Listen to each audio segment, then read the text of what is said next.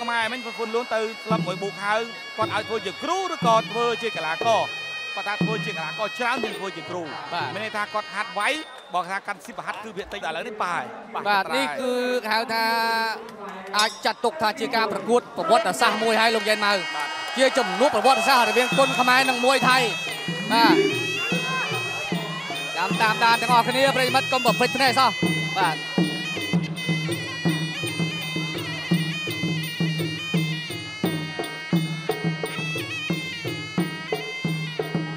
លែងមានបងប្អូនអង្គុយហើយបាទចាប់ផ្ដើមទឹកទី1នេះបងប្អូនដែលនៅក្រៅគឺចាប់ផ្ដើមឈរបដាបដាបងប្អូនដែលឈឺបត់ជើងក៏មិនហ៊ានទៅដែរបាទគូនេះมันអាចប្រហែលបានទេពេលវេលាមានកំណត់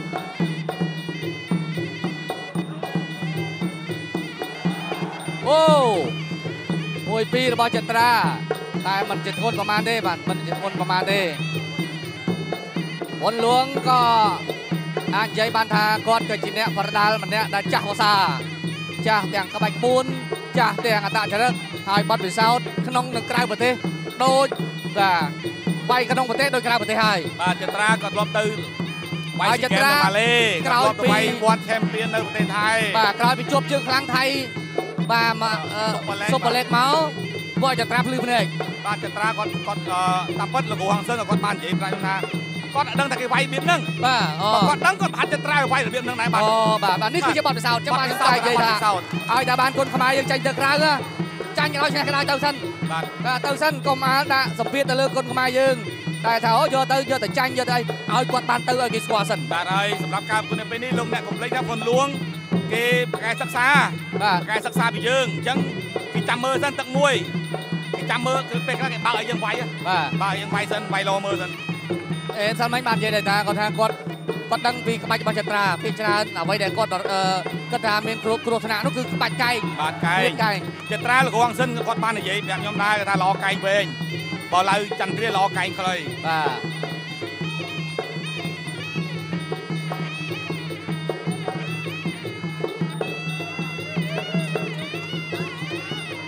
ស្ទាបស្ទង់នៅឡើយទេគូនេះអត់ហ៊ានបុកទេបាទមួយពីរទាត់ជើងក្រោមនេះអ្វីដែលចត្រាគួរតែធ្វើគឺការចាក់ជើងក្រោមនិងឆ្មក់ខាងលើបាទការឡាំក៏មិនទាន់ត្រូវធ្វើដែរនៅទឹកមួយទឹកពីរនេះបាទគឺអ្វីដែលដែលចង់ឲ្យចត្រាធ្វើគឺការទាត់ជើងក្រោមចាក់ជើងក្រោមនិងវាយប្រយោលលើលើបាទដើម្បីបន្ថយកម្លាំងគេដល់ដៃគូសិនតែមិនដឹងថាការផ្សត់ហាត់របស់លោកគ្រូហងសឿនទៅលើចត្រាបន្ថែមអ្វីខ្លះទេយើងអត់ទាន់ដឹង មួយពីរបោះជង្គង់បាទសម្លេងហូរពីមហាជនពេញសង្វៀនតែម្ដងបាទ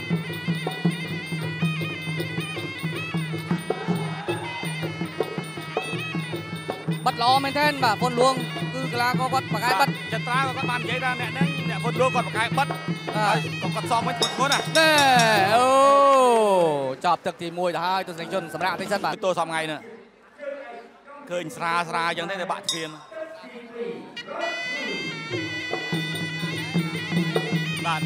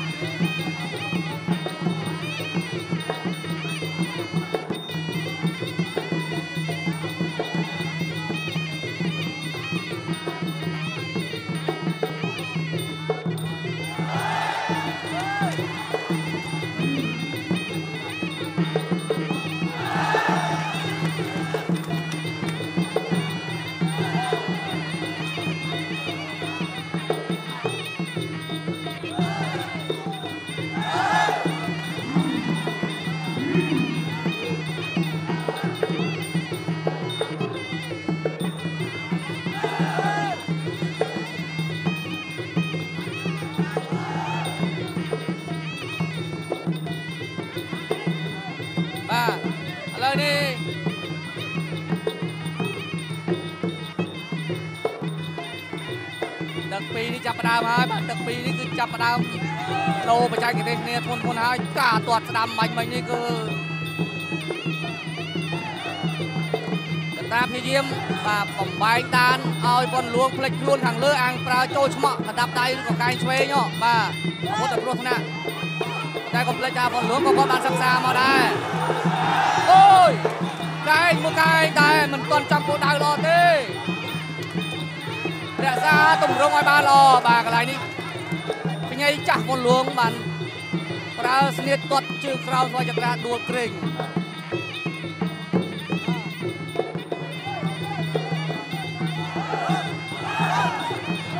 សំណុំល្អមែនតើមុនលួងបាទ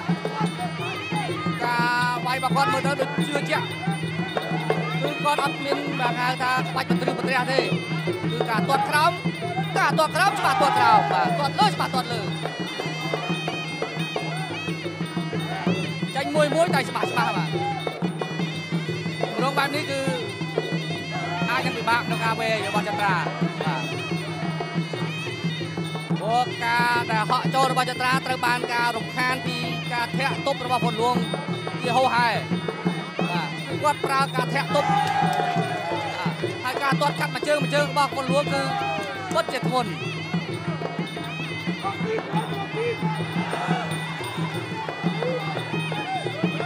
មែនទែនបាទពលួងបាត់ល្អមែនទែនចត្រារកហើយប្រើកាយអូយ1 2 3 4បាទប់ទឹកទី2បាទទស្សនារូបភាពយឺតយឺតទឹកទី2ការប្រើកណ្ដាប់ដៃរបស់ចត្រាហាក់មិនទាន់បានផលល្អនៅឡើយទេបាទគឺនៅមិនទាន់ចំគោលដៅពេញពេញទេទាំងការធាក់ទាំងការប្រើកែងក៏ នៅមិនទាន់មានព្រៀបទៅលើបុនលួងនៅឡើយទេបាទគឺដល់ពេលនេះបាទបុនលួងគឺមួយមួយគឺច្បាស់របស់គាត់បាទច្បាស់របស់គាត់ពិបាកវាយណាស់បាទកីឡាករដែលប្រើទម្រង់នេះមកគឺពិបាកវាយបាទ1 2របស់គាត់1 2 3 4ចេញមកគឺចេញច្រើនគឺបានផល បាទពីមួយទឹកទៅមួយទឹកតែងតែមានការបន្ថែមនៅបច្ចេកទេសបាទរៀងរៀងខ្លួនបាទរៀងរៀងខ្លួនគឺថាពីទឹកមកនេះថាការសម្រុកគ្នាមិនសូវជាឃើញផ្លែផ្កាបាទខ្លាំងខ្លាណាស់ណានោះទេបាទការប្រើយុទ្ធសាស្ត្រគាត់ជើងក្រោមគាត់ចត្រាហើយក៏ចូលឆ្មក់បាទប្រើកណ្ដាប់ដៃនេះក៏នៅបាត់ប្រាស់ជាប់នៅឡើយបាទពលលួង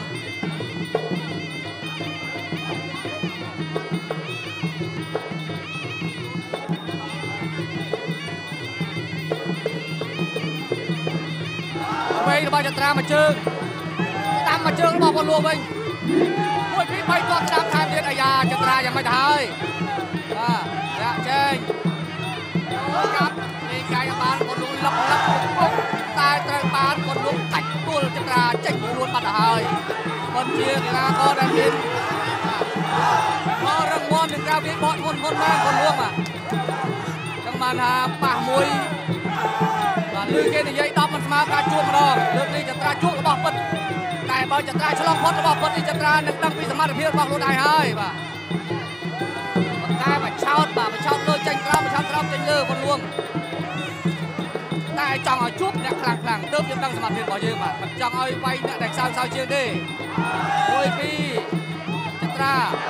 ពលលោកដល់ពោះដល់លើទៅស្ដាំអូយណែមួយមួយនឹង មួយពីរបីចូលចាប់អត់បានផលទេបាទ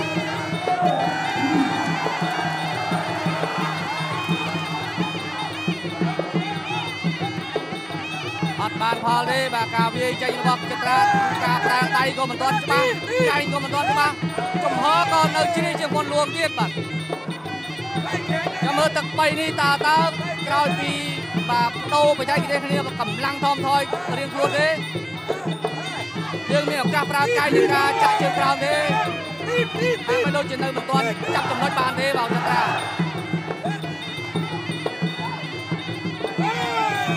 3របស់ពលលួងមកលើច្បាស់លើក្រោមច្បាស់ក្រោមបាទចូលហើយបាទឆ្វេងស្ដាប់1 2 3បាទចន្ទ្រាចេញមួយពលលួងចេញ2 3ទាត់ជើងក្រោមអូហូយបាទជាគូដែលជក់ចិត្តមែនមែនបាទ អត់ទាត់ទឹកពុកជង្គង់បាទចន្ទ្រា បេះកាយឆ្វេងមកមួយវិញ มีฟันด้วยฟันมีฟันด้วยมีซองด้วยมีซองด้วยเออเออ គាត់លោកយាយចាក់ជើងក្រោមអាមេអាមេមិនឲ្យចត្រាប្រើកាយបានទេបាទអត់បានទេគាត់កាត់គាត់ឆ្វេងបាត់ប្រាជាប់កកខ្លួនចេញលៀមមិននៅមកកន្លែងទេមិននៅមួយកន្លែងឡើយ ตีตีตีตีเอ อត្រាថ្ងៃនេះបាទធ្វើការធ្ងន់ហើយបាទចូលដៃគាត់លួងមួយមួយថាសិចសិចមិនតិចតែម្ដងបាទចាប់ទឹកទី3ទីបាទគូមិត្តភាពរវាងឡាវចត្រានិងហ៊ុនលួង បាទយើងមើលការចេញអាវុធរបស់ចត្រាទាំងដៃបាទនឹងកែងអត់ទាន់មានប្រសិទ្ធភាពទៅលើហ៊ុនលួងនៅឡើយទេបាទប៉ុន្ប៉ុន្តែហ៊ុនលួងមកវិញនេះគឺថាចូលចូលគោលដៅចូលចូលគោលដៅពេញពេញពេញបាត់ហើយ បាទ1 2 3 4របស់គាត់គឺចូលតិចតិចតែម្ដងព្រោះឲ្យចត្រាពិបាកយ៉ាងខ្លាំងក្នុងការចូលគៀកបាយកែងបាទគឺគាត់ចេះបាត់មិនឲ្យចត្រាចូលប្រើកែងបានទេបាទបរះគាត់ល្អមែនទែនតែមើលទឹក4ទឹក5ទៅមើលបងប្អូនបាទនេះមកកន្លែងនេះគឺមួយពីរខាងលើឲ្យគាត់ចន្ទុលក្រោមគាត់ចត្រាពិបាកនឹងចូលវាយខ្លីបាទនេះដាល់ត្រង់បាទការចាប់ក៏មិនទាន់អាចធ្វើឲ្យពលរួមបានដែរបាទ បារម្ភមែនទែនបារម្ភមែនទែនបាទចាំមើលយុទ្ធសាស្ត្រទឹក4ទឹក5បាទប្រិមិត្តដែលចូលមកសង្វៀនមកដល់ពេលនេះគឺលើសចូល1000នាក់ទៅហើយបាទព្រោះសម្បត្តិកន្ទុយសម្បត្តិដែលយើងចែកជូនបាទដើម្បីផ្ដល់រង្វាន់ជូនគាត់ទៅជាង500ស្លឹកមិនគ្រាន់ផងបាទជាង500ស្លឹកមិនគ្រាន់ទេគឺ រាល់ពេលបងប្អូនដែលមកទស្សនានៅទីនេះផ្ទាល់បាទយើងនឹងមានចែកជាកន្ទុយសម្បត្តិដើម្បីចាប់រង្វាន់មានអាវយឺតមួកនិងស្រាបៀរកម្ពុជានិងទឹកបន្សុទ្ធបាទហើយនេះចត្រាចូលបត់កាយពីលើមួយអនលួងថោមួយពីរចូលទៅមុខអូហូយដៃធន់មកចត្រាថ្ងៃនេះធ្វើការធ្ងន់ហើយប៉ះជើងខ្លាំងពិតប្រាកដបាទ ការកណ្ដាប់ដៃរបស់ពលរដ្ឋគឺប៉ះច្បាស់ចូលគោលដៅល្អៗមែនទែនធ្វើឲ្យចត្រាពិបាកនឹងមានឱកាសប្រើអាវុធពិសេសអូប៉ះជើងធាក់ចូល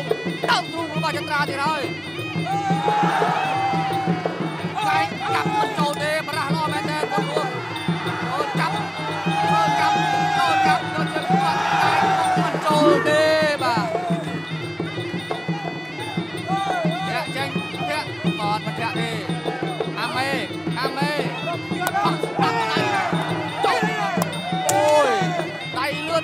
លួងបាត់មិនទាន់ចូលដល់ដីវិញហើយអត់កាត់មិននៅមួយកន្លែងមែនបាទកីឡាកររួមមិននៅមួយកន្លែងមែនបាទរាល់ការចូលរបស់ចត្រាគាត់ទេបាសេចេញឆ្វេងធ្វើស្ដាំមិននៅមួយកន្លែងអត់ការកាយ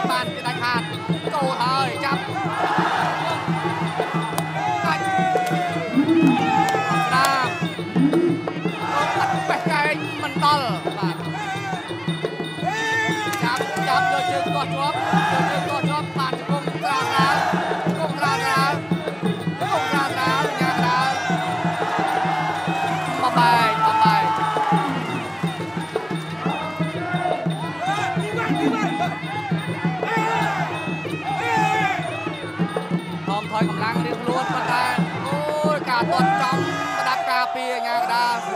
អូហូចត្រាគាត់មកជើងឆ្វេងកលាក់ចំកចាប់តែម្ដងមកសំរួលសំរួលកន្លែងដែលផុនលួងបែរស្ដាំទៅបាទគឺថាចត្រាបាទចាំមើលរូបភាពយឺតបាទរូបភាពយឺតចុកណាស់បាទគឺគាត់ពេញប្រអប់តែម្ដងបាទ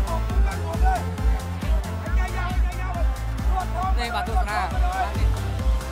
បាយឆាប់2នាទីយោ តែតណាទាត់ក្រោមប៉ុន្តែគណៈដែលវុនលួងបែរឡង់បែរឡង់ទៅខាងស្ដាំត្រូវពេញគម្របតែម្ដងលក្ខណៈបែបនេះញ៉ាកដាលបាទតាមលក្ខណ្ឌិកៈសម្រាប់2នាទីបាទមានការការដាក់មុនផងបាទឥឡូវពមៀនទៅលើចត្រាហើយបាទគាត់ចំកន្លែងខាងគាត់អូបកែ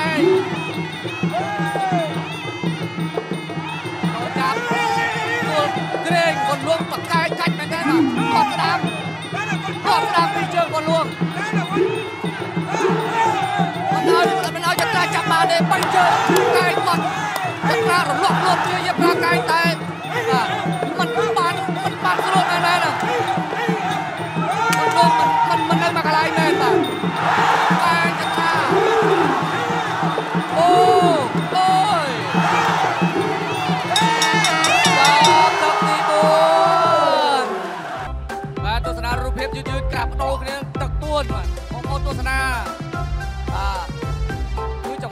ចង្វាក់ដែលចូលរបស់វុនលុងមកជើងកន្លែងចូលដើមទ្រុងចត្រា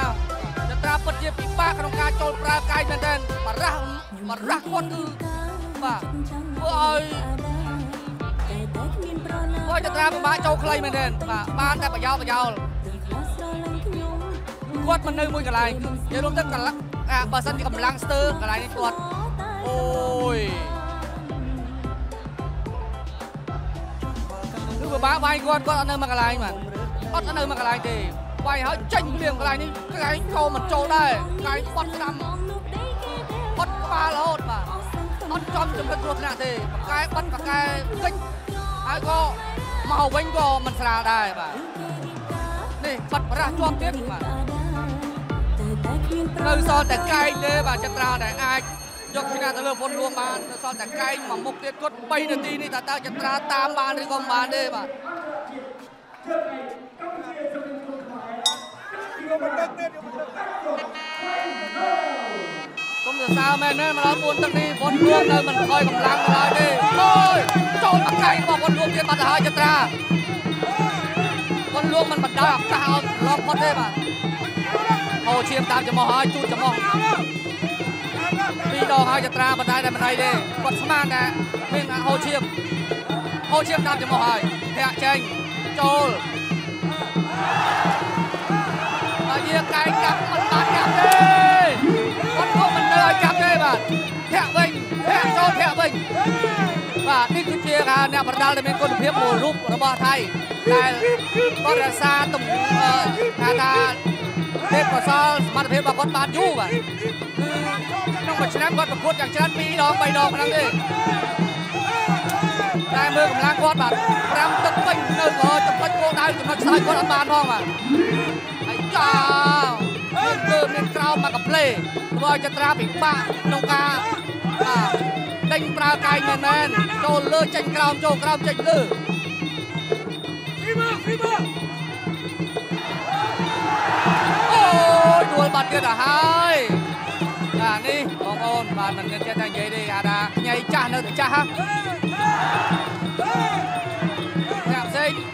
បារះតែកីឡាករថៃរូបនេះមិនងាយផ្លាត់បារះទេបាទ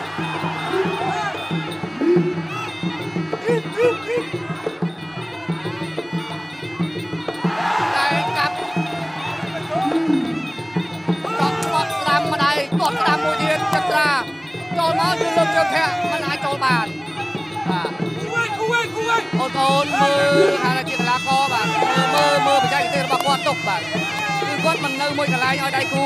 វាយគាត់តាមធ្វើចិត្តបានទេហើយចេញទៅវិញមួយមួយច្បាស់ច្បាស់ចំគោលដៅ Madi. ជួបអ្នកខ្លាំងពិតទើបដឹងសមត្ថភាពពិតរបស់យើងអូយមកជើងមកជើងបាទចន្ទ្រា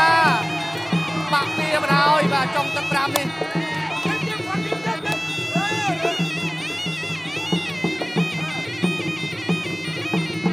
វាយមិនចូលមែនបាទកីឡាករប៉ុនលួងរូបនេះពិតជានៅរក្សាសមត្ថភាពរបស់គាត់បានមែនបេះកាយមួយតែ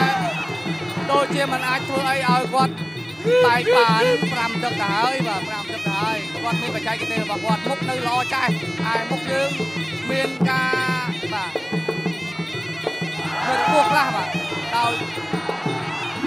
ការប្រើកាយមាញ់មិញនឹងកណ្ដាប់ដៃជាច្រើនរបស់ប៉ុនលួងមកលើបាទចត្រា កាយមិនដល់មែនបាទចង់សរសើរការពេចរបស់គាត់កាយមិនចូលមែនបានមួយជើងដល់ទឹកទី5ហើយ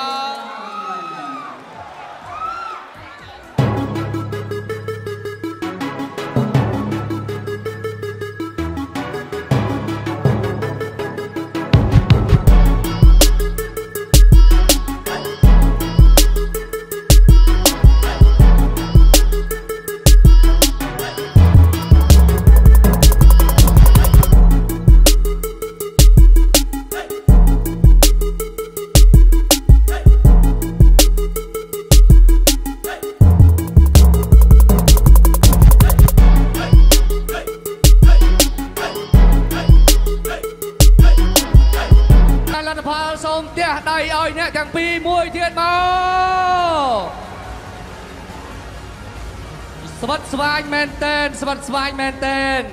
គុណខ្មែរក៏ប្រឹងអស់លទ្ធភាពឯគុណថៃក៏ប្រឹងអស់លទ្ធភាពបាទនិយាយរួមអ្នកទាំងពីរដាក់គ្នាតាំងពីទឹកទី1ដល់ទឹកទី5អត់ទម្លាក់ដៃអត់ទម្លាក់ជើងអត់ទម្លាក់កាយទេហើយសម្រាប់ការផ្ដល់បន្ទូវែងចៅក្រមទាំង5រូបបានផ្ដល់បន្ទូជាអ្នកចែងដោយឯកឆានដូចជាអ្នកជ័យជំនះបានទៅលើបង្គោលគីខ្វាត់លឿ ពិត ជាខ្ញីចាស់មែនពិតជាខ្ញីចាស់មែនបាទបាទបាទ